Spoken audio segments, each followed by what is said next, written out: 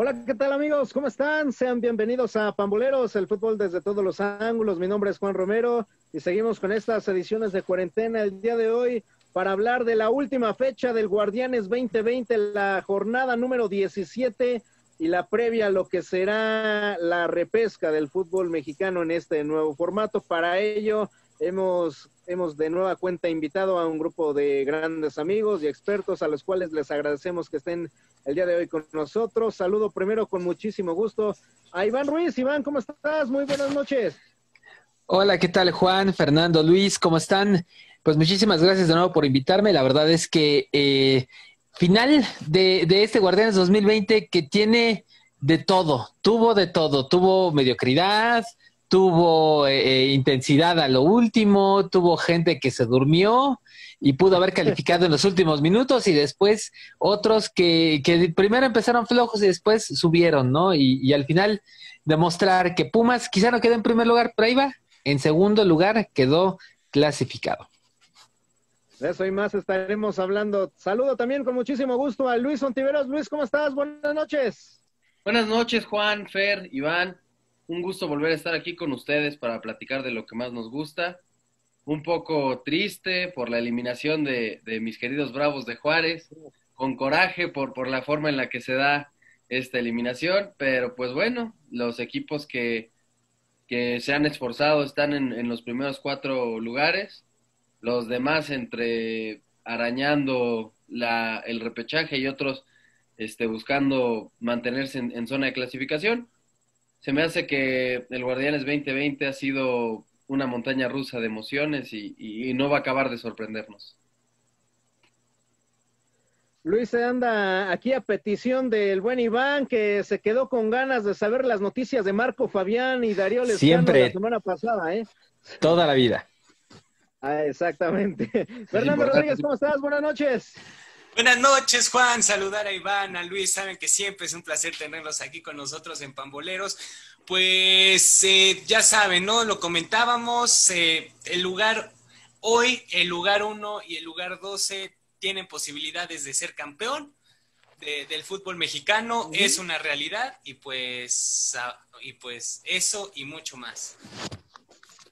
Bueno, señores, pues vamos a comenzar porque bien lo dijeron ustedes, ya concluyó este Guardianes 2020 que sin duda será un parteaguas, ¿no? Me parece en la historia del fútbol mexicano. Y vaya, después de 17 jornadas, ¿ustedes con qué se quedan? Digo, ya tenemos un super líder que fue León con 40 puntos, estuvo cerca de incluso poner un récord de unidades. Eh, ¿Cuál fue para ustedes la sorpresa y la decepción de este Guardianes 2020 y lo que se vendrá, ¿no? El repechaje, si les llama la atención y si de alguna forma ustedes creen que, como bien lo dijo Fer, de aquí pudiera surgir el próximo campeón del fútbol mexicano, Iván.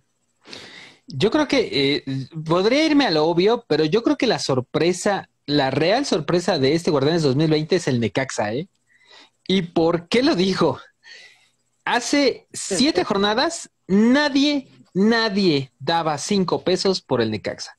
Venían de una crisis tremenda, tuvieron que sacar a, a Alfonso Sosa, eh, prácticamente no se veía por dónde, llegó el profe Cruz, no creían en él, y de repente cinco partidos consecutivos ganados.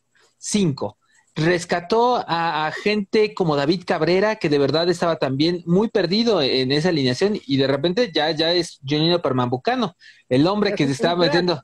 Sí, no, no, no, bueno, también la parte de Salas, lo de, lo de este Pacerini, que es increíble cómo logra el profe Cruz crear un grupo importante que los mete a la liguilla, de, bueno, al repechaje, porque todavía no es liguilla, uh -huh. pero eh, pero al mismo tiempo también creo que es el más peligroso de todos. Pachuca no la tiene nada fácil contra un equipo que se ha defendido muy bien, ha encontrado jóvenes muy interesantes y para mí esa es la sorpresa. ¿Cuál es la decepción?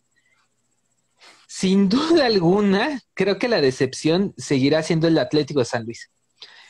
Les, le, le, pusieron mucho dinero a ese, a, a ese proyecto. Eh, lo de Memo Vázquez no se puede creer. Eh, es un tipo que, que, con muy poco ha logrado ser campeón. vemos con Pumas en el clausura 2011 y ha hecho equipos importantes como el Cruz Azul que llegó a la final, eh, algunos otros casos que ha tenido, pero hoy por hoy San Luis está en una crisis tremenda, tanto institucional como deportivamente. ¿eh? No, yo no veo por dónde esta gente de España vaya a querer seguir eh, dando dinero, aportando. Eh, y además ya viene como, como también la retirada de muchos, ¿no? Ya, ya empieza el, el viejerío, dirían, en, en, los, este, ¿cómo se llama? En, los terribles eh, sistemas de gobierno cuando se van, ¿no? Viene, viene el, el, desviejadero, viene el desviejadero y ahí van todos. Y ya, ya tienen a tres, cuatro, pero creo que San Luis, por lo que se pensaba, por la inversión que tuvieron y por los jugadores que venían, que estaban muy interesantes, incluido Mauro Quiroga, que es un jugador importantísimo, para mí es la decepción del torneo. Sí, sin duda alguna. Luis, ¿tú con qué te quedas para ti? ¿Cuál fue la sorpresa y la decepción de este Guardianes 2020 que tuvo en la persona de Cabecita Rodríguez al campeón de goleo eh, con 12 anotaciones? Yo creo que Iván se quiso ver muy o muy profeta, porque sin duda las sorpresas son los Pumas. O nadie al inicio del torneo daba que Pumas iba a estar en segundo lugar. Todos creíamos que a lo mejor ni al 12 llegaba y de repente Pumas nos sorprendió. Me vi políticamente me, vi políticamente correcto, perdón, es la verdad. Callaron bocas, Porque yo creo que es la, las sorpresas. Eh, Necaxa, más que la sorpresa del torneo, me parece que dio con la llegada del Cruz un, este, un cambio drástico, la oportunidad a, otros jugadores como David Cabrera, como Alejandro Sendejas, que viene de Chivas, compañero mío en, en la primaria y en la secundaria, por cierto, que les diera ah, esta oportunidad. Sí, sí, claro. Este, este, que les diera esta, oportunidad a, estas, a estos pues, futbolistas que habían estado en, clubes más grandes y que a lo mejor en, un equipo con menos presión de, de mediática, les diera la posibilidad de crecer y, de demostrar su, su, mejor nivel, ¿no? Me parece que lo de Cruz Azul acaba dejando a desear en las últimas jornadas. Lo de cualquier equipo que no haya calificado al, repechaje, sea el equipo que sea, me parece un fracaso rotundo. Me parece que Mazatlán, aunque sea su primer torneo, tenía un plantel modesto, pero no tan diferente a Puebla no tan diferente inclusive al mismo Necaxa, al igual que Atlético San Luis, que Tijuana, que Atlas y que Juárez. Este, sin embargo, yo me quedaría con que no hay que olvidar que en este sistema de competencia califican 12, pero los primeros cuatro en, en cuestión de puntos, muy O sea, inclusive Cruz Azul que aflojó un poquito este, al último, me parece que a lo mejor en los últimos años no habíamos visto que los primeros cuatro estuvieran con, con ese nivel de, puntos, ¿no? Y que estuvieran tan, tan cerca el uno del otro. Bueno, León está pues mucho más alejado, pero sobre todo Pumas América y Cruz Azul con un puntaje muy alto de 29 y 32, que, que sí, sí se vio como más constante ellos durante el torneo. Sin embargo, yo creo que mencionaban lo de Necaxa, pero Necaxa en torneo cualquiera no hubiera calificado, Pachuca igual. Eh, me parece que vamos a volver a tener una liguilla donde estén los cuatro grandes y, eh, y, eso lo puede hacer muy interesante para el cierre del torneo. Fer, yo recuerdo que antes de comenzar este Guardianes 2020 tú dabas como la decepción a Toluca y ahí está, se clasificó por lo menos a la, a la repesca del fútbol mexicano y vaya, no sé si a final de cuentas este sea tu sorpresa o si apuestas por otro equipo para la sorpresa del Guardianes 2020. Este, pues yo daba a Toluca por muerto y lo sigo dando por, o sea, por muerto a pesar de esta temporada en la que encontró como tres aires, encontró dos, dos reinvenciones eh, al final creo que lo de Toluca fue más por este orgullo o, dignidad de futbolística propia de que por elementos en los que puedas trabajar a, futuro, digo ese empate con León en la última jornada, pues prácticamente lo acaba lo acaba teniendo ahí eh, en el lugar 11, eh, pero como tal sorpresa Toluca que esté ahí, no, yo igual me voy por Pumas, o sea, yo creo que nadie esperaba que Pumas tuviera un torneo en el que hiciera 32 puntos, si no, si no mal, este, si no estoy mal, un torneo en el que fuera segundo lugar, creo que mm, yo no daba eso por Pumas, yo lo dije, y yo siempre he creído y lo sigo considerando que Lilini llegó para calmar las aguas y para mantener a un equipo estable. Eh, saben a lo que juegan, es una realidad, pero bueno, también Pumas va a requerir mucho más, a mi manera de verlo, para poder eh, aspirar a, un campeonato y más con lo que este, pues se acaba de suceder en los últimos minutos, porque literal son minutos, de la situación de Alfredo Talavera. Sí, sin duda alguna va a ser una baja que será sensible para Pumas en, en los cuartos de final, independientemente de quién sea el equipo que le vaya a tocar en esta instancia. Ojo, señores, si uno revisa la tabla general, podría ser, y si no hubiera esta situación del repechaje que se inventaron, la liguilla sería León contra Santos, Pumas contra Chivas, América frente a Tigres y Cruz Azul contra Rayados de Monterrey que sería bastante atractiva ya así este de bote pronto, ¿no?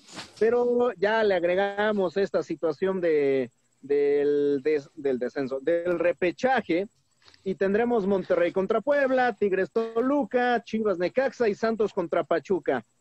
Los equipos de, a ver Iván, de que son del 9 al 12, ¿tienen alguna posibilidad de eliminar a los que están del 5 al 8? Claro que sí, el, o sea, posibilidad tienen. Ahora, eh, argumentos futbolísticos no lo sé. Porque, bueno, el Puebla es un equipo que es súper canchero. O sea, un día te puede dar un gran partido, o sea, te puede dar un, muy buen partido y, ganarle quien sea, y en otro puede ser un desastre. Lo vimos en el partido contra Pumas, ¿no? Que se, se desbocaron, al final les metieron, Pumas le metió cuatro goles, ¿no? Y de repente van y le hacen un partidazo al América y a pesar de que pierden, creo que, que la dignidad la tuvieron ahí arriba. Y por ejemplo, eh, ahora que le ganaron al San Luis, pues tampoco nadie esperaba ese resultado eh, en algún momento, ¿no? Que ¿Qué es lo que pasa con esta, este intento de ponerle emoción a las cosas? Creo que sigue siendo mediocre. Estamos viendo partidos que no deberían de suceder y más por el hecho de que muchos de estos equipos siguen teniendo casos activos de coronavirus siguen teniendo bajas de coronavirus, siguen teniendo riesgos de lesiones importantes por la inactividad que tuvimos hace seis, siete meses. Entonces, creo que es arriesgar de más, por ejemplo, a equipos como Monterrey o Tigres, que de verdad tienen, yo creo que los suficientes méritos para estar en una liguilla real y normal y les vas a cargar un partido de más tienen oportunidad tanto Necaxa como, como eh, Santos mismos o, el propio eh, Puebla. Sí, porque puede haber un mal día. Recordemos que en el fútbol mexicano y sobre todo en la liguilla se dan los malos días, inexplicables, porque son a veces ultra inexplicables porque tienen malos días. Entonces, de repente a Monterrey le puede fallar, como vimos en el caso de eh, contra Chivas, ¿no? Tenían un partido súper ganable, es un partido que prácticamente lo tenían dominado en el primer tiempo. La que falla eh, Jansen es impresionante, y cuando lo, ven, cuando ya ven el minuto 70, de repente les cayeron dos goles de la nada y ya no supieron manejar un partido. Esas son las cosas que uno piensa, porque entonces dices, posibilidad sí, sí la tienen estos equipos chiquitos y sí, pueden arruinarle la fiesta a quien sea. Ahora, la justicia no debería de ser de ese modo, porque de nuevo, fomentas una mediocridad. Y, y hasta la misma mediocridad de los que se pueden confiar que están arriba de la tabla. De acuerdo, Luis, este, Iván ya nos despedazó el repechaje. ¿A ti te gusta este nuevo formato? ¿Y crees que, por ejemplo, los del 9 al 12 sí tienen posibilidades contra los que están del 5 al 8?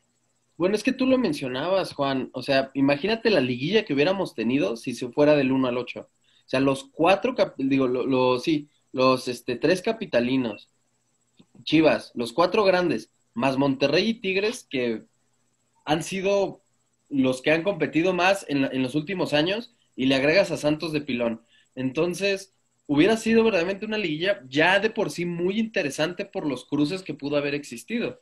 Me parece. Todavía se puede ver, Luis. Todavía se puede ver. Pero, por ejemplo, aquí los creo que van a parar 20 días, ¿no? Los primeros cuatro por el- la cuestión de repechaje y fecha FIFA. Entonces, ya los estás condicionando hasta ellos, no solo a, los que este, están en repechaje. Lo, volvió más emocionante para los que estaban en, este, en posiciones como, Puebla, como Toluca, que en, de último momento se alcanzaron a meter. Pero siento que no, no, no por tener más partidos, por qué recuperar la economía, debemos como bajar la calidad de la liga, ¿no? Pero es No que también, igual, ¿qué, qué economía, qué No economía recuperas? No rescataron nada. No, reca- no rescataste nada porque seguimos, eh, todo, la- todo el país seguimos en Claro. semáforo rojo y no va a haber, no va a haber ningún este estadio abierto, ni siquiera el del Necaxa que todo, que sí, que volvió al semáforo eh, naranja y otra vez no vuelven a tener gente. y el de Mazatlán, que fue el único, Sí. tuvo dos partidos con gente y se acabó, y se les acabó el torneo. Entonces, yo lo que veo o lo, o lo que logro apreciar de la tabla es que, claro, es interesante para las personas como yo, que a lo mejor seguimos a un Bravos, las personas que siguen a un Puebla, que siguen a un Toluca, porque inclusive con que los eliminen en la primera fecha de, en el repechaje, pues ya tienen ese sentimiento de, ay, alcanzamos meternos, o inclusive en la última jornada dependíamos de nosotros y lo logramos, o necesitamos combinación de resultados y se dio. Porque yo honestamente no creo que del 9 al 12, chance Pachuca, pero el partido pasado Pachuca jugó con lo que tenía por, por los casos de COVID.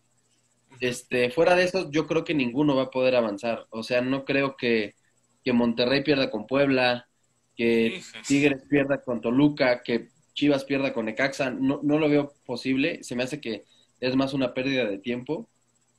Este, se hubiera dado la fecha FIFA y órale, te avientas de corrido el- este, la- los cuartos, semifinal y final y acabas el torneo, que al final del día, este, ¿qué va a pasar si este torneo se alarga y en un determinado momento volvemos a semáforo rojo y, otra vez nos quedamos en semifinales o a ver qué pasa, ¿no? Sí, ahora, Fer, este, pasando contigo y retomando algo que ponías y mencionabas incluso al inicio del programa, según lo mencionas, el 12 tiene posibilidades de ser campeón, así lo dijiste, entonces tú ves al mismo nivel al Puebla que al León. No están al mismo nivel, por supuesto que no. Yo lo decía. Según tu lógica, eso fue lo que me dijiste, tienen las mismas posibilidades el 1 que el 12 de ser campeón. tienen las mismas posibilidades porque los, lo- del 1 al 12, se el, del 5 al 12 se están jugando un repechaje y si Puebla le gana a Monterrey, está en la liguilla. O sea, ahorita Puebla está vivo y podría llegar, jugar una final, eso es correcto porque el sistema así lo permite, al igual que León, en esa situación. O sea, que tú estén al ves, mismo... a, tú ves a Puebla con posibilidades de ser campeón. Hijo, No, bueno. o sea, tiene- o sea, pues, el, el formato del torneo le permite que tenga esas posibilidades de ser campeón, sí. O sea, porque todavía no está tú- eliminado. tú, honestamente, tú ves a, a Puebla con, con armas para ser campeón. No, no, cuentas, ar- las armas no ¿no? las tiene, no, las armas no las tiene Puebla. Por Dios, hizo 20 puntos, León hizo 40. O sea, e, en ese aspecto sí lo estamos, o sea, en ese aspecto lo analizamos. Puebla no tiene ninguna posibilidad o arma, pero el torneo permite que Puebla ahorita en este momento no esté eliminado y si gana su partido de repechaje, o sea, tendría que jugar, tiene Puebla, tendría que jugar un partido más que los demás que están jugando liguilla para ese tan ansiado título, ¿no? Lo estamos diciendo porque el formato así lo está fomentando. O sea, Mira, Fer, yo te entiendo y entiendo esa parte, pero yo me acuerdo que inclusive cuando Indios llega a, la- a su primer liguilla, decían, es que la gente se ríe porque decimos que podemos ser campeones de entre 1 entre 18. Ahora es entre 1 entre 8 y, y se siguen riendo. Aquí siguen siendo 12. O sea, realmente se, se quedaron fuera este seis equipos. No, no, Sí. no, Sí. no, no, no siento que haya sido un gran logro el de Puebla. el no, de es que no lo es, pero al el final Necaxa esa como para- posibilidad la tiene. Oh, claro, o sea, teóricamente O sea, la Ne- tiene, creo que Necaxa. Necaxa planteándole un partido inteligente, en ojo, en 90 minutos, no de partido de ida y vuelta. En Ajá. 90 minutos, yo creo que Necaxa podría echar a Chivas. Bueno, Claro. Chivas, no va a Cruz Azul, cinco victorias consecutivas, ¿eh? O sea, sea, pero no, pero sí fomentamos, entonces sí estamos fomentando la mediocridad, ¿no? Sí, por A supuesto, final de cuentas, totalmente, claro. Si, si recuerdan, Sí. los repechajes antiguos solo eran del 1 al 6 y luego eran del, del 7 al 10. O sea, era, no, era del 1 al 5 y luego del 6 al 10 hacían dos repechajes. Y ya de ahí vámonos. Yo no entiendo por qué meter tantos Era equipos. con grupos, Iván, era con grupos. Sí, eh, Era, eh, me- esta era- situación de Era un chiste, por cierto, lugar con no sé cómo lo hacían. Sí, sí. Pero sí, a final de cuentas, porque la tabla no valía de nada, eran más grupos, de repente tú veías que el lugar número 13 podía tener posibilidades en el grupo 4 porque tenía los 14, 15, 16 que estaban ahí. Yo me acuerdo muy bien un, una- un torneo de Irapuato calificó porque era el treceavo o el catorceavo, entonces era así de, bueno, eh, o sea, el, el punto es este. Si, si la Federación Mexicana de Fútbol fue tan tonta, y sí voy a poner ese, ese, ese punto, si la Federación Mexicana de Fútbol era tan tonta como para pensar que hoy por hoy ya teníamos gente en los estadios, también era muy tonta de pensar que esos repechajes no le iban a afectar en una fecha FIFA. Y aceptar, claro. Eh, eh, aceptar partidos de fecha FIFA en un lugar muy lejano como es Austria y, y no, y llevar a casi media selección que es de la Liga MX. Así de simple. Entonces estamos, eh, eh, de por sí, esta, eh, la federación ha hecho muy mal la planeación, ah, no ha defendido a los jugadores, no ha defendido a las instituciones. Entonces, bueno, ahora tenemos este resultado. Vamos a ver de qué nos trae este mazacote, que por cierto, mucha gente todavía ni entiende contra quién van los otros, los primeros cuatro. Que eso es terrible. Sí, sí, sí, sí, sí. Tú, Iván. Calificas desde la doceava posición. Calificas desde la doceava posición. No hay descenso y no hay multas económicas. O sea, eh, eh, la, la liga se juega como si nosotros armamos nuestro torneo aquí en la Y estaría cuadra mejor y organizado. ya. La Liga del Balompié Mexicano tiene, tiene mejores reglas, reglas más, o sea, a pesar del desastre que son, tiene reglas más claras de cómo van a jugar su- sus finales y todo eso y hasta más interesantes. Pero de, de nueva cuenta, esa no es culpa de los equipos, eso nunca fue culpa de, de- de los equipos ni del proceso de selección, fue culpa de la federación que quiso eh, en algún momento propiciar una reactivación económica que no tenían ni siquiera segura. No, ellos no sabían que esto iba a durar tanto tiempo.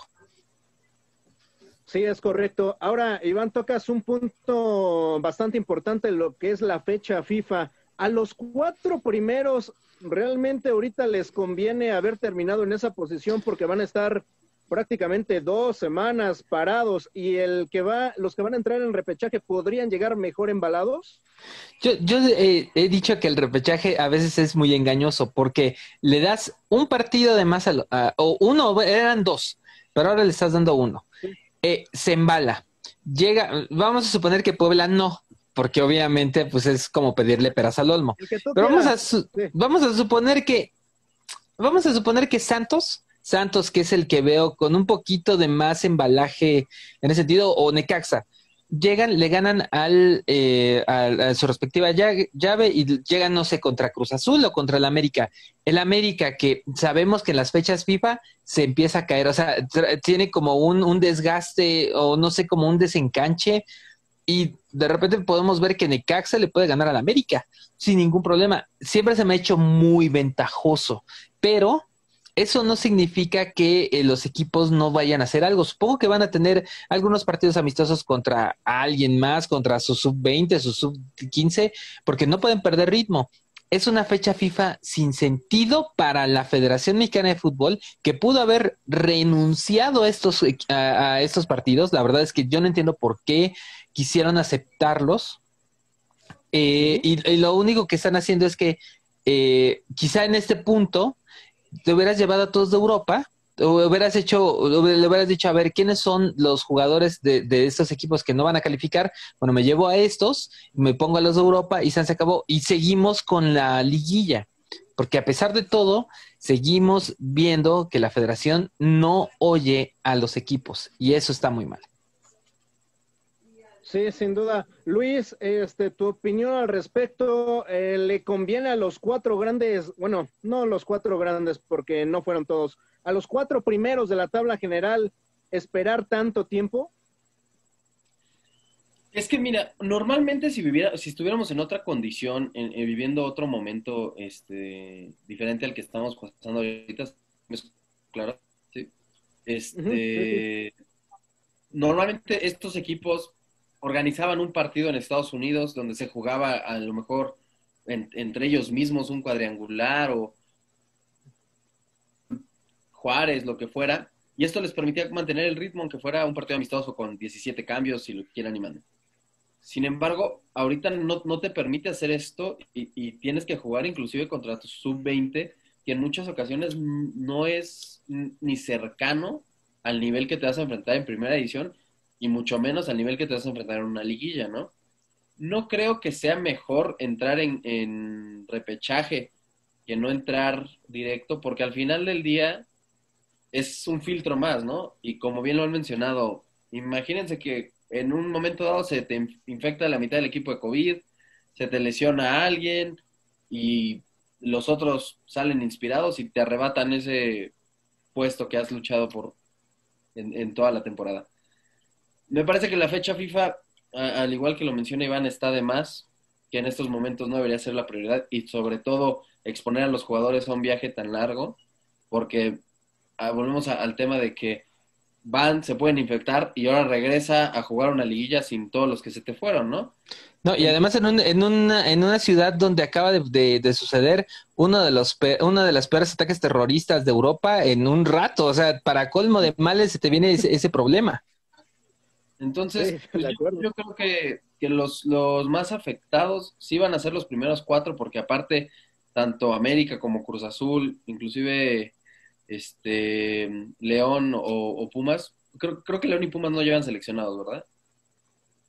Pues el único era Talavera. El único era Talavera y pues ya no. Murió. sí, ya, ya, descartemos eso. Serían los más afectados, me parece, porque Puebla no tiene seleccionados, Toluca no tiene seleccionados, entonces ellos van a jugar su repechaje normal y si lo ganan o lo pierden, que es lo más probable, pues ya se acabó su torneo y lograron entrar dentro de ese, de ese repechaje.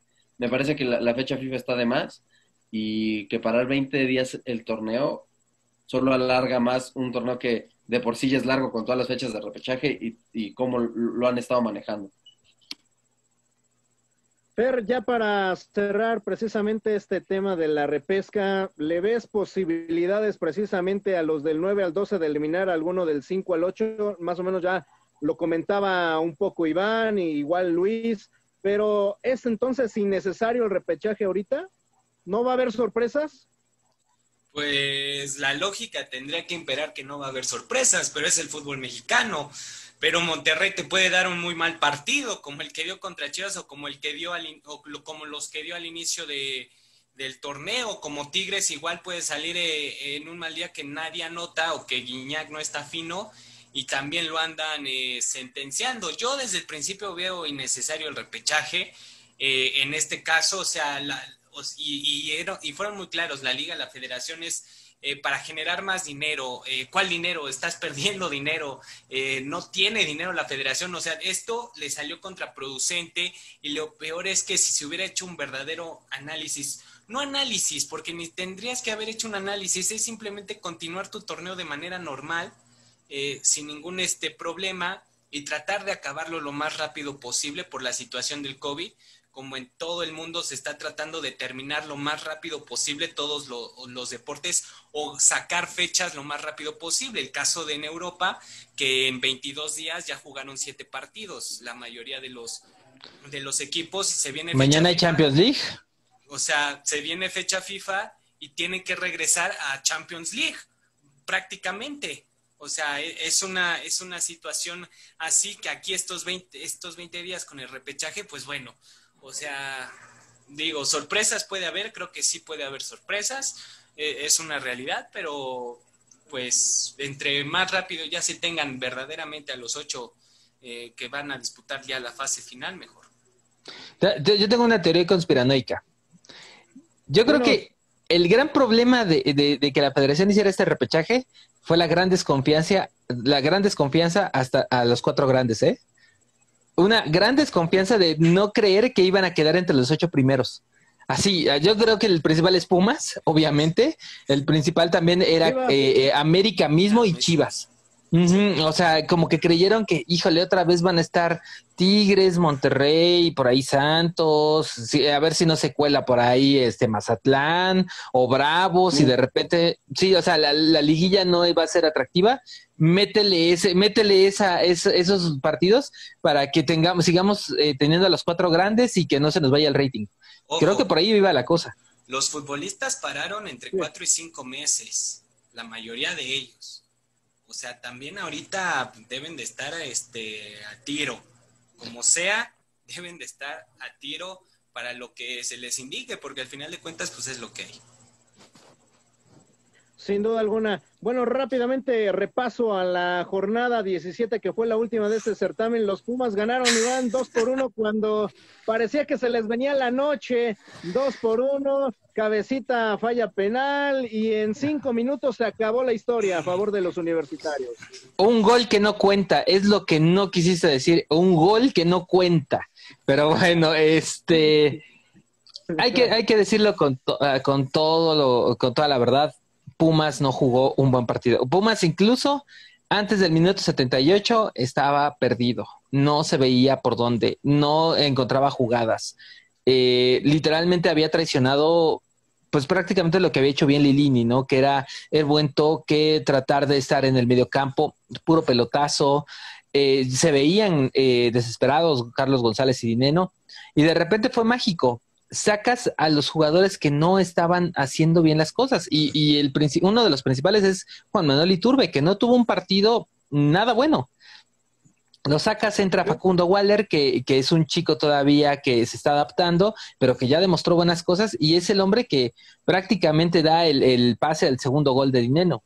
Eh, que, que, era lo que necesitaba, ¿no? Un empuje, un real empuje, tanto yo creo que el cambio de Gutiérrez como el de, el de Facundo Waller fueron los detonadores para que Pumas pudiera eh, sacudirse esa presión del Cruz Azul, que ojo, creo que, que los que deberían estar súper preocupados son, son, los de, son los cementeros, porque yo no entiendo todavía cómo es que un partido ganable con el que tuviste prácticamente el 2 a 0 lo puedas perder en los últimos minutos. La cruz azuleada perfecta, la, eh, la, tormenta que siempre se les viene eh, al, al, conjunto celeste, pero creo yo que Pumas sí dio uno de sus peores partidos e increíblemente uno de sus peores partidos fue el triunfo que todo el mundo esperaba, el que daba el mazazo en la mesa.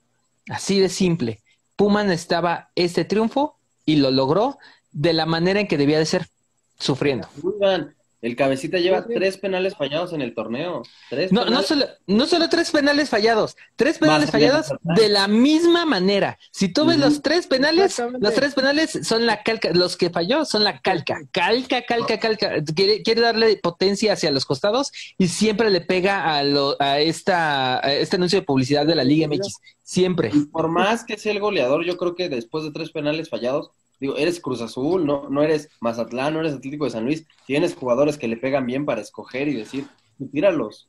Tienes el, no, tenías a este, eh, este Aldrete, Aldrete que es un jugador que es muy confiable, Rafa Vaca, o sea, ahí, tienes varios. Sí, Luis, este, explícanos qué le pasó a Bravos, esa triste historia que se le escapa de las manos en los últimos minutos. Mira, justo Iván preguntaba cómo de tener una ventaja de dos, de poder buscar una ventaja de 2-0, se te cae un partido. Bravos pudo ganarle al América 5-0 si quería.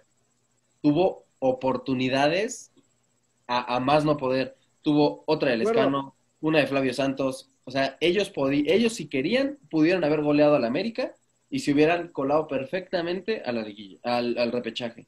Pero fue la historia de todo el torneo. O sea, Caballero toma esta postura de metemos un gol y ya no, no hay que exigir, ya no hay que buscar más. Los jugadores se cansan y en vez de buscar un, un cambio de... No tiene plantel, Luis, no tiene plantel. No, definitivamente es, es, el plantel más modesto, pero tienes a la Culebra Castillo, que es rapidísimo, y el Rayo Fernández se te cansó al minuto 60 y no lo metiste. pero ese, ese, Castillo es una mentira, es una mentira absoluta. Es, es, es, un hombre que hace 50 pintas para que llegue y el tiro lo, siempre lo saca chorreado. Siempre. Yo, yo veo que siempre se va a las manos del portero. Pero es que, es, o sea, Bravos hace contra Bravos, le, le ofrecen un jugador que nadie quiso y dijo, dámelo a mí. Entonces, a mí me sorprende, yo, yo creí la verdad que la Chofi se iba a ir para allá, pero ya salieron más equipos al Vamos quite. Monterrey, vamos Entonces, Monterrey.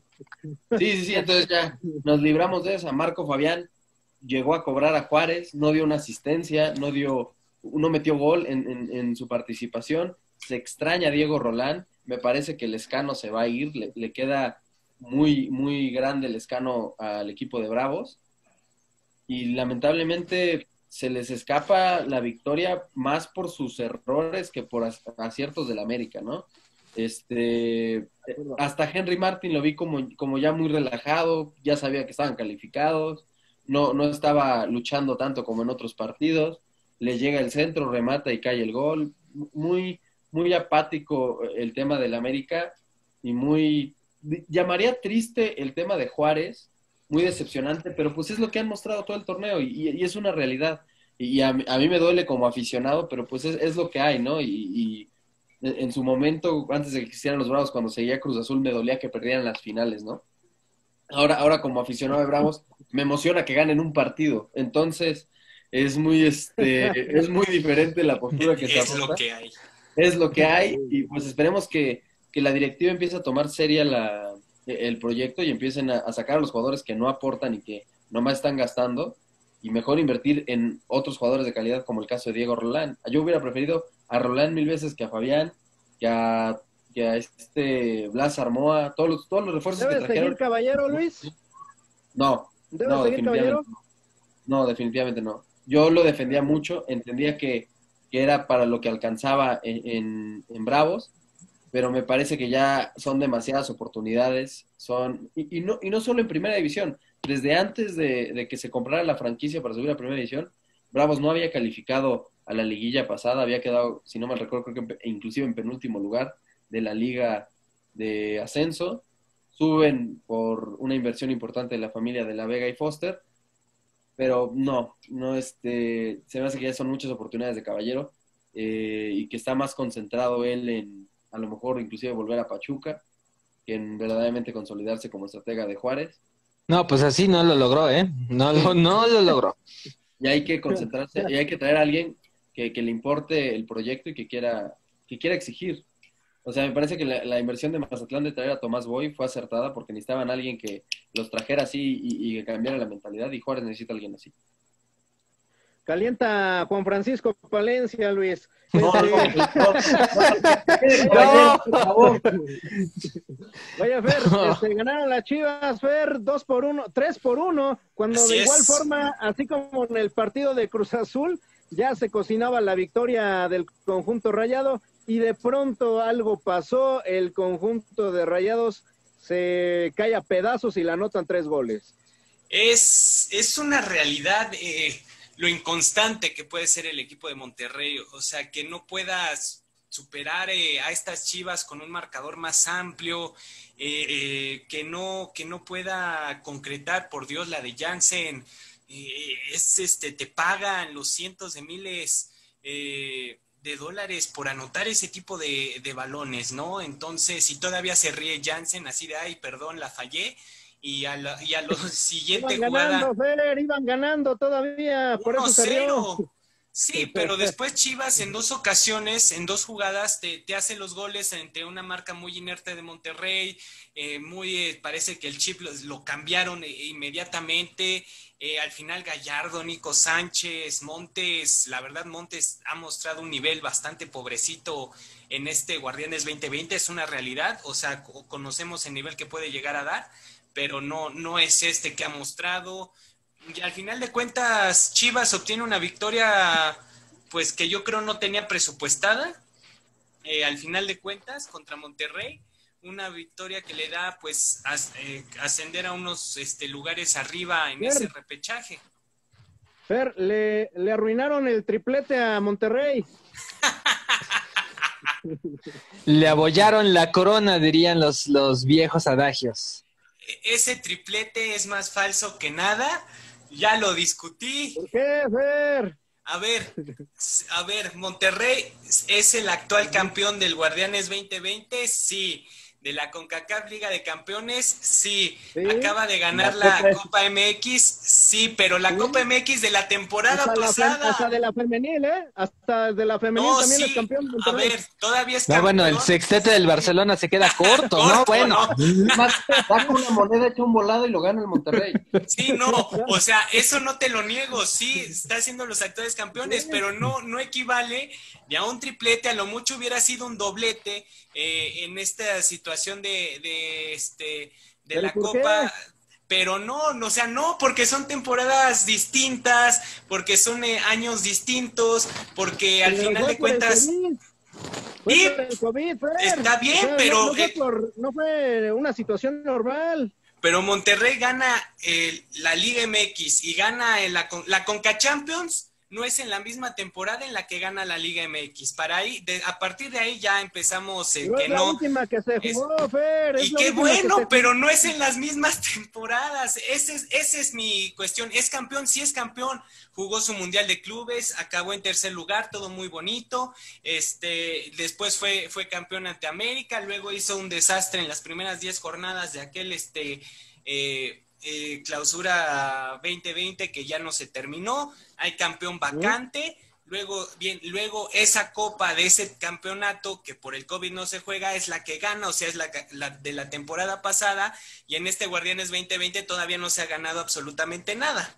Así de sencillo. Es el. Pero eso no es culpa de Rayados, Fer. No, no, lo es. No, no es culpa de Rayados. Es culpa de los que están diciendo que es este triplete, cuatriplete. Primero gánenle a Chivas. No les quites la ilusión, no les quites la ilusión. Ves que, ves que no ganan, a, veces, a veces sienten que no ganan mucho y pues les quitas, les quitas algo, una, una cosa, un desfase temporal. Parecía Tenet ahí, eso. eso. Entonces, bueno. Y vamos de reversa.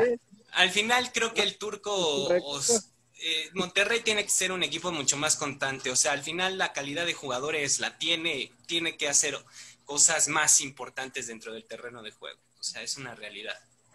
Oye, Iván, este, antes de pasar a otro partido, el tema Chivas, este, así como traías tú una teoría conspiranoica, yo también te traigo una. ¿Será acaso que la situación de poner transferibles a Chofis, a Peña, de separar a Villalpando y a este y a los, y a los al Gallito Vázquez, que también fue el otro que también estuvo ahí en Miscuido, se dio porque no son jugadores titulares, le hubieran hecho lo mismo a un Macías, a un Irán Mier, a un Brizuela, que son los, los jugadores de hierro, digámoslo así, del rebaño? No, y ¿sabes por qué te lo digo? Porque en realidad no los cachan. Creo que pueden, eh, o sea, traen la misma fiesta, ¿eh? Y traen el mismo tipo de situaciones personales. La diferencia es que se cuidan más. Eh, la, diferencia es que se van cuidando, o sea, por lo menos guardan el celular. El problema de Chivas, y lo volveré a decir, es que piensan en individual. Llegar a Chivas es llegar a la idea individual de decir, vengo a una institución a irme a Europa, vengo a Chivas a irme a la MLS, irme a tal, tal, tal. Muy bien. Mientras hago, gano muchísimo dinero, me consienten, me siento un ídolo y a ver si me llaman a la selección porque pues les hace falta alguien mexicano y pues estoy en Chivas, ¿no? No piensan en colectivo. Bucetich ha tratado de, de hacerlos jugar en colectivo y ¿qué crees? no puede porque no e, es su filosofía. De los jugadores, por lo menos, no está en su naturaleza ser campeón con Chivas. Y eso es muy triste porque tiene a Mauri Vergara una situación ahí de que ha gastado millones y millones de dólares en jugadores que no respetan la ah, institución o sea, el caso de Víctor Guzmán es, es, lo, es lo más dramático posible. No, ni siquiera jugó y ya tenía un problema ahí legal. Lo de Dieter Villalpando tuvo, tuvieron que cesarlo porque realmente va a llegar a los juzgados y Chivas no quiere pagarle los abogados. Esa es la verdad. Si hubiera sido JJ Macías este, cuanto a que este caso lo hubieran, este, lo hubieran encapsulado rapidísimo. Así de simple. No es, no, ahora sí que mientras sigan saliendo porque para colmo males ni siquiera son buenos para esconderlo. Eso, eh, son, son demasiado tontos como para decir, ay, estoy haciendo una tontería, déjame ponerlo en TikTok. Y así, y, o sea, es tonto, tonto lo de Chivas. Pero de nueva cuenta, esto es culpa de los propios jugadores que no les interesa Chivas. Los que jugaron, los que están jugando, los que se están medio matando y los que pudieron sacarle el partido a Pumas y los que le ganaron a Monterrey son los que quieren jugar. Y ahí, ¿qué más puedes decir? Me quedo con las palabras de Oribe Peralta. Yo los traté de regañar, no me hicieron caso. ¿Qué podemos hacer? Vamos a, vamos a jalarnos, o sea, los que, los que queremos jugar, vamos a jugar y se acabó. Sí. Bueno, el resto de los resultados, Puebla le gana 1 por 0 al San Luis, este también Pachuca cae frente al poderosísimo Rayo que ya llegó a cinco victorias consecutivas. Tigres no le pudo ganar al Atlas y por eso se va al repechaje, lo cual es este difícil de creer, por ahí dirían algunos. Pero el, pero el chiste de Guiñac se contó solo, ¿eh? El, chiste de Guiñac en Twitter se contó solo, reclamándole a los árbitros que por qué no le contaron. Sí, no, valiéndole queso, hijo de su Pink Floyd. Hombre, sí. Se peleó con todos André Pierre Gignac y este, mientras tanto, hablando de Tigres, ya se fue Edu Vargas, ya está en Brasil para jugar con eh, el Mineiro, por cierto, y también Toluca empata 2-2 con la Fiera, mientras que Santos golea 4 por 0 al Mazatlán. Ese Mazatlán que una semana mete 5 goles y a la siguiente le meten 4. El efecto Boy. Que cerró, el partido que cerró la jornada, Querétaro 2, Solos de Tijuana 2, Luis, el partido que paralizó el país. No, bueno. Sí, me dejó sin palabras. Este, los dos equipos muertos, o sea, ya nadie esperaba que fuera eso. Y, y, qué partido tan, tan interesante, vaya. Eh, Pero qué pues necesidad, ¿no? Digo, ¿qué les costaba poner todos los juegos a la misma hora? Y por eso nos evitábamos este numerito, ¿no? Exacto. Sí, no, definitivamente, inclusive el director operativo de Gallos ahí tuiteaba que tuvieron un pésimo torneo. Bueno, primero definan quién es el dueño de quién y quién aporta el dinero a qué, y ya después este damos eh, de quién es peor, pero sí, no, o sea, al final de cuentas ese partido se debió de haber jugado eh, inclusive al, mediodía o, el sábado, o sea, eh, en este aspecto, pero ya para, para la noche de un domingo, ya jornada 17, cuando literal los dos ya todo definido, no, ni siquiera para ellos mismos representaba algo. El efecto Ares de Parga otra vez, ganando como siempre, ¿eh? ganando como siempre. Ahí está el precio. Este, señores, pasando a otro tema rápido, ya más o menos tocábamos el tema de, de la fecha FIFA, si bien es cierto, creo que todos coincidimos en que es un desperdicio jugarse a final de cuentas ya están estos compromisos, México frente a Corea del Sur y frente al seleccionado de Japón. El Tata hace su convocatoria. ¿Está lo mejor del fútbol mexicano en estos momentos en esta selección, Iván? No lo sé creo que le hacen falta algunas piezas. Hay gente que está lesionada, obviamente lo del caso de Talavera, que hoy supimos que va de cuatro a seis semanas fuera, eh, que estaba teniendo uno de los mejores torneos prácticamente de su carrera, y ni modo, así, así es el fútbol. Eh, no sé, habría que ver porque ya vimos qué puede hacer Raúl Jiménez y Jesús Corona juntos. Ahora hay que ver al triplete. Vamos a ver qué tal le va a Raúl Jiménez, Jesús Corona e Irving Lozano es lo mejor que tenemos. Es lo mejor que puede presentar el Tata y con el sistema que está teniendo, porque eh, entendemos que, por ejemplo, el Chaca ha tenido buen rendimiento, lo va a poner ahí de titular. Eh, en su momento Héctor Herrera ya tiene la confianza del Cholo Simeone, yo creo que también va a ser titular. Eh, vamos a ver si en algún momento el efecto Laines vuelve otra vez a, las andadas. Tres partidos jugados, Iván. Laines tiene tres partidos jugados nada más. No ha vuelto. No, y la última vez sí, y un, gol, ahí. y un gol contra y un gol contra contra eh, en, el último partido. Entonces, eh, contra Argelia. Entonces, creo yo que es lo mejor que puede tener el Tata por ahora, porque hay que esperar. Creo que eh, todavía hay muchos jugadores a los que les puede sacar jugo, pero creo que también entiende que viene la liguilla, viene, hay algunos jugadores que no quiso, además tiene problemas con la, la, gente de los directores técnicos, yo creo que hubo muchos que no quisieron soltar a los jugadores por eso mismo, no quisieron arriesgarlos para llevar a Europa, y bueno, ahí está la situación.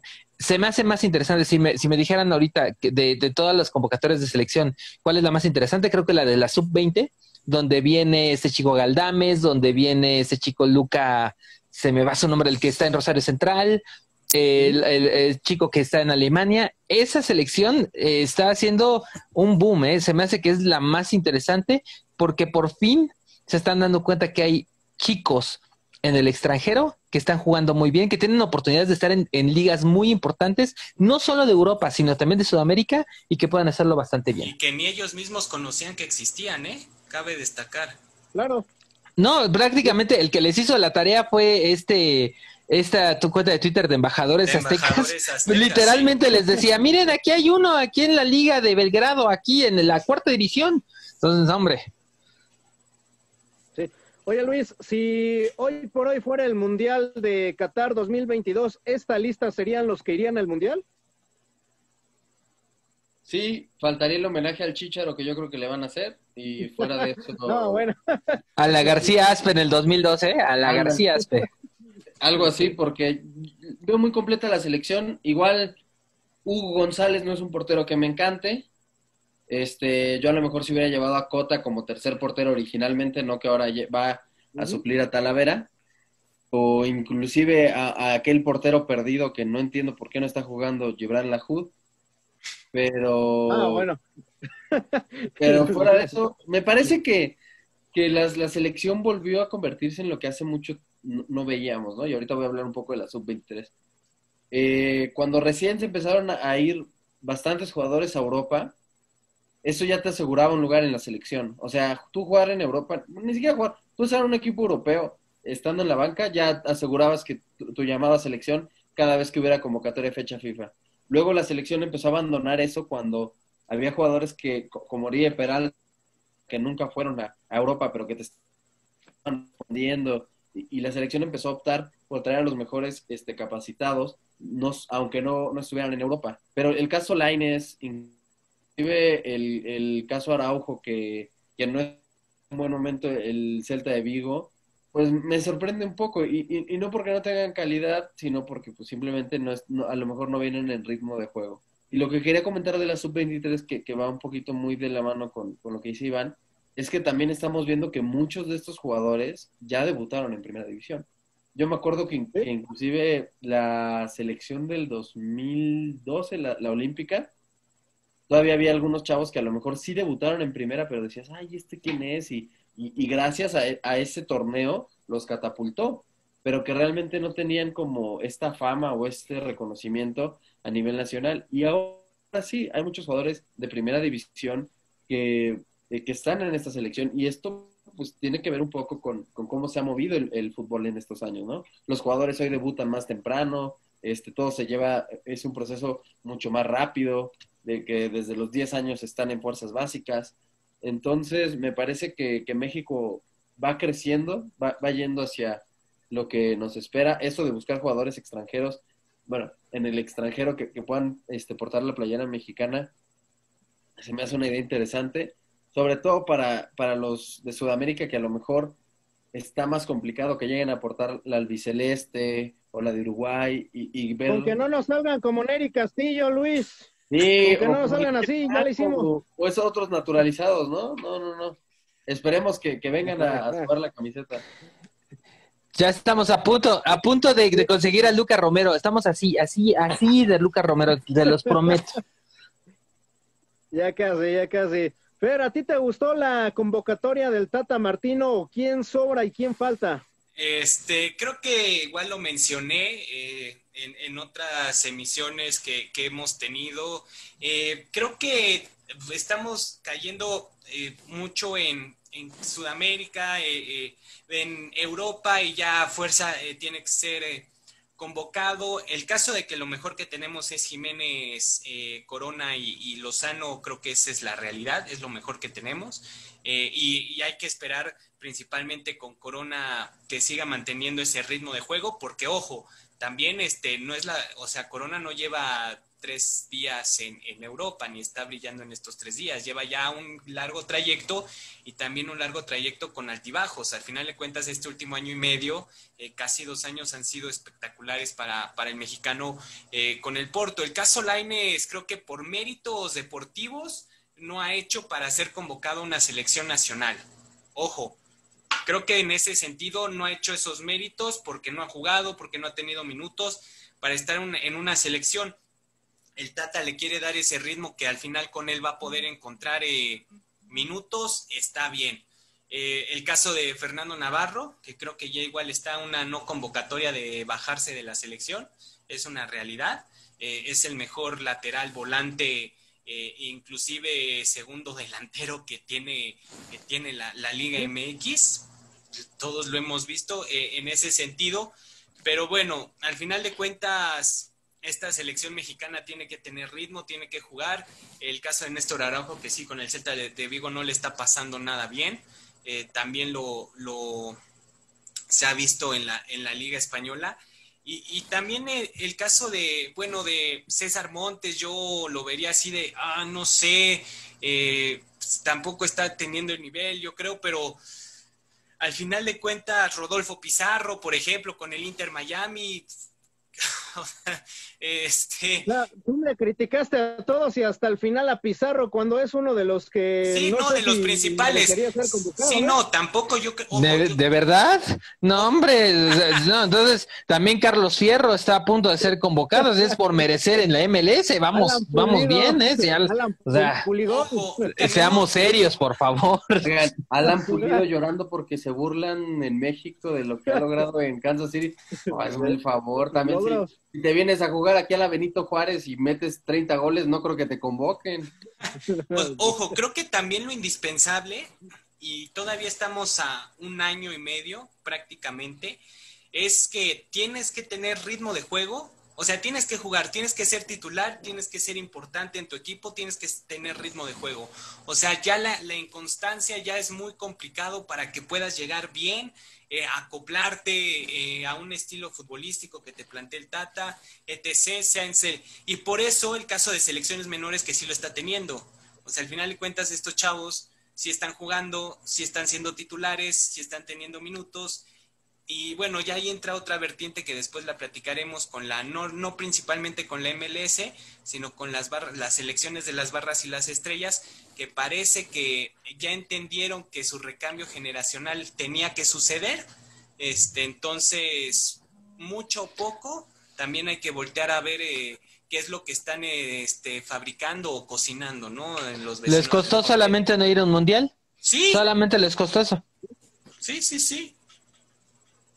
Sí, sí, Pero ya aprendieron de eso, Iván. Aquí, aquí seguimos eh, dormidos en los laureles. ¿eh? No sé, o sea, yo, yo, yo escucho que, que ya vendieron como a 20 los estadounidenses en Europa y todo, pero a, excepción de Serginho Dest y de quizá Reina.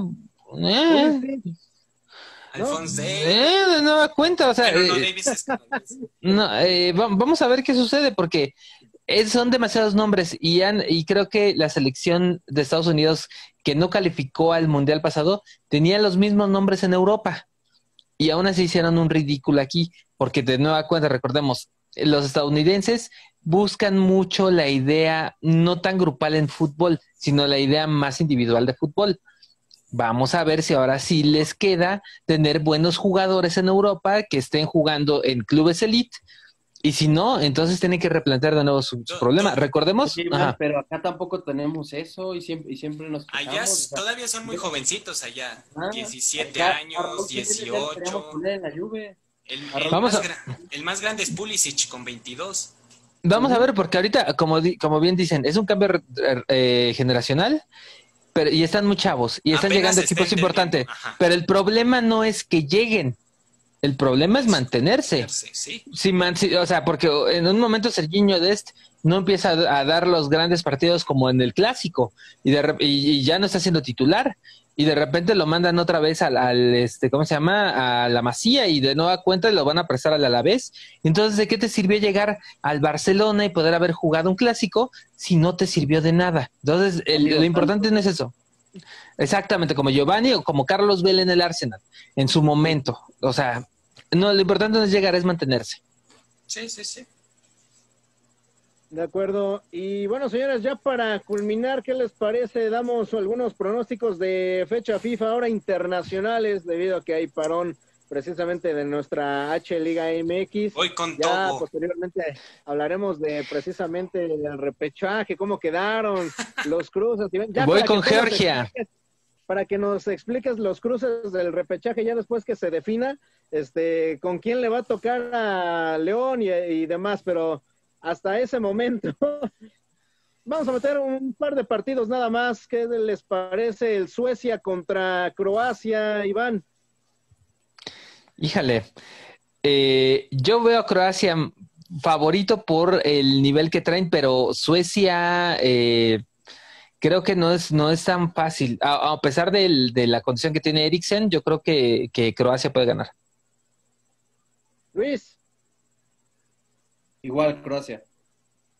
Fer, Eh, yo voy por un empate. ¿eh? Este, creo que puede indigestarse eh, defensivamente Suecia a Croacia, a pesar de que Suecia pues, no tiene nada adelante que pueda definirte un partido, pero sí defensivamente tiene mucho. Deberían de llamar otra vez a Zlatan, ¿no? Digo, No, porque ya no quiere. Ya no quiere. Ya es el, es el Carlos Vela sueco, entonces no. Aguante. Ay, Tal cual, vamos ya, también con. Croacia. Portugal contra Francia, Iván. Buen partido, eh, creo que Cristiano sí está convocado, entonces a ver si ahora sí pueden tener un partido interesante, porque la otra vez que vi el, el- partido de ida, digamos, de ese grupo, fue un reverendo 0-0 ultra aburrido que, que fue infumable. Espero que ahora sí tomen en serio este partido y, y yo, yo veo un poco más favorita a Francia que Portugal. Luis, Yo también creo que Francia este, tiene más equipo que Portugal y, y siento que ellos van a ganar. Van a meter cinco goles de Guiñac. allá lo están esperando, sin duda. Fer, Este, yo creo que va otro empate. Este, Portugal, eh, bueno, al final sacar puntos ante Francia es positivo, es el actual campeón Portugal, pero bueno, también sabe sus limitaciones. Y por el otro lado, Francia, que se ha quedado corto en muchos aspectos, eh, en muchos sentidos, Mbappé no anda al 100%, por ahí traía algunas situaciones eh, físicas. Eh, Dembélé, pues quién sabe este, si le sirva o no este, esta fecha FIFA, pero yo voy por el empate. es el campeón de la Liga de Naciones, que es Portugal, contra el de la Copa del Mundo, que es Francia. Así y vamos por los franceses. Bélgica contra Inglaterra, Iván. Partidazo, ¿eh? Yo creo que el mejor eh, de esta fecha en Europa, eh, los belgas que antes han tenido un nivel impresionante desde hace mucho tiempo, no van a tener a Lukaku por lesión, eh, ya, ya se venía, y Kevin De Bruyne no está en su mejor momento, pero creo yo que, que están, y Hazard que, que son de destellitos, ¿eh? Destellitos, Pero destellitos. tiene COVID, Hazard. Destellitos, destellitos, pero bueno, yo creo que Inglaterra puede dar la sorpresa y le puede pegar a Bélgica. Luis, No, yo creo que Bélgica ha jugado mucho mejor en los últimos partidos que, que Inglaterra. Yo creo que Bélgica va a ganar. Fer, Yo voy con Inglaterra. Creo que tiene. eh, está probando con jugadores jóvenes. eh, el del Everton, este Carpet Lewis. Eh, Inglaterra, digo, tiene un plantel, digamos, si los ponemos a los titulares, a los que conocemos, tiene un plantel bastante importante, pero este creo que Inglaterra va a superar a esta Bélgica que viene mermada. vamos con un empate y un par más. Colombia contra Uruguay, Iván. Ojo que se está manejando ya que Reinaldo Rueda va a dejar de ser después de este partido eh, entrenador de, de Colombia, así que ojo con eso. Osorio. No, pues, si quieren matarse, ya, ya lo corrieron de Atlético Nacional, de ahí ya Por no tiene ya- trabajo, Ya, no tiene compromiso, Iván, ya, ya tiene día libre. Que le- que le. Que le vendan espejitos ahí y todo perfecto, ya saben. Eh, creo que Uruguay tiene, tiene ventaja, pero Colombia es un equipo de muchos nombres y, y hoy por hoy James Rodríguez vuelve a tener un protagonismo importante, vuelve a tener el, el ritmo y me voy a decantar por el empate. Luis, Yo me voy por Uruguay por el simple hecho de que tienen al campeón de goleo del fútbol mexicano. Y esto ya te asegura ¿cierto? una victoria ante Colombia. No, y Colombia tiene al portero del Atlas, eh, a Camilo Vargas. O sea, este, No, dos- MX, dos ya estuvo. entonces, Qué triste.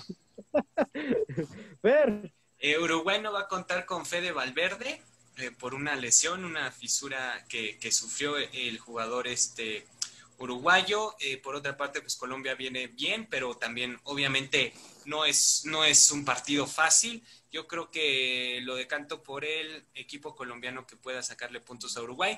Ojo, que si Uruguay pierde ante Colombia, ah, ojo, porque aunque son la, es la jornada 3, se complica eh, en la tabla de posiciones. sí, eh, vamos por Colombia también. Y finalmente, Argentina frente a Paraguay, Iván. La suerte de Scaloni es mucha. Eh, la verdad es que no le ha tocado equipos que le den mucha lata, pero creo que es un espejismo lo de lo de Argentina. Va a ganar. Se sobrepuso que- la altura, Iván, de Bolivia, No. se sobrepuso la altura. No, la verdad es que de- después de ver los tremendos errores de la defensa boliviana, el primer gol que es un regalito a Lautaro Martínez, no, no, entonces creo que otra vez no va a tener un rival de modo. Vamos a ver a Argentina cuando le toque Brasil o Uruguay, esa es la verdad. E incluso el mismo Colombia le puede hacer más frente. Entonces yo creo que Argentina nada más por por no dejar. Por la camiseta. Dices, con la camiseta gana. ¿Qué le queda? O sea, ¿qué le queda a Messi? O sea, la verdad es que no. eh, eh, si, si vieran los juegos previos, Argentina no juega a nada. Nada, sí. Pero la diferencia es que no le han tocado eh, equipos que de, de- de buen nombre. ¿De acuerdo, Luis? Creo que todos sabemos a quién le voy a apostar yo y la razón por la que le voy a apostar yo a Paraguay. es porque- si Darío ¿eh? Lescano puede meter 10 goles él solo, quiero imaginar que con una selección puede derrotar a Argentina. Esa, esa hubiera sido increíble una dupla Carlos González con Darío Lescano. No, hombre, ¿Eh? de miedo. La verdad, sí. Sí, sí. Fer, Este, pues yo creo que Argentina se va a llevar, se va a llevar el partido. Sí, no está jugando bien Argentina, no, no, no tiene un estilo claro de juego. Los mismos jugadores eh, se estorban entre sí, este, por las características que tienen. Pero al final de cuentas es Argentina y tiene mucho talento ¿cuántos individual. goles hace Messi, Fer? ¿Cuántos goles va a hacer Messi? Uno, no más de uno. De penal. ¿De penal? Lescano 3, de chilena, de medio campo al ángulo. Con Luis Celeste también, sin duda alguna. Bueno, señores, muchísimas gracias de verdad por haber estado un rato platicando de fútbol con nosotros. Fue bastante agradable y esperamos se repita pronto. Iván Ruiz, muchísimas gracias. Muchísimas gracias, Fernando, Juan, Luis. La verdad es que siempre es un gran placer estar con ustedes hablando de fútbol, hablando de lo que nos gusta muchísimo y de verdad esperen a ver cómo le va al Club Universidad Nacional Autónoma de México, que puede ser falta. finalista. Puede ser. No, Yo no estoy asegurando nada, pero puede ser finalista. Ya de ahí el volado con el León es otra cosa. Fantástico. Luis Ontiveros, muchísimas gracias. No, gracias a ti, Juan, Fer, Iván, gracias por la invitación. Es bien divertido platicar con ustedes y, y debatir un poco de, de esto que nos encanta. Eh, pues sí, yo les diría que voy a guardar en un cajón mi playera de Bravos, voy a desempolvarla de Cruz Azul para esta liguilla, esperemos este Ah, año sea bueno. bueno. Y este, sí, no, pues para no aburrirme. Este, y pues a ver, ojalá el, el próximo torneo, este, Guardianes 2021 sea, este, tenga más sentido, vaya, y, y que podamos disfrutarlo de mejor manera. A buen árbol te arrimas, Luis, con los celestes. Pero bueno, Fernando Rodríguez, vámonos. Vámonos, Juan, agradecerle a Iván como siempre. Luis, saben que siempre es un placer platicar con ustedes de lo que más nos gusta de fútbol y nos estamos escuchando y viendo la siguiente semana. Gracias. Fuerte abrazo para todos. Hasta la próxima.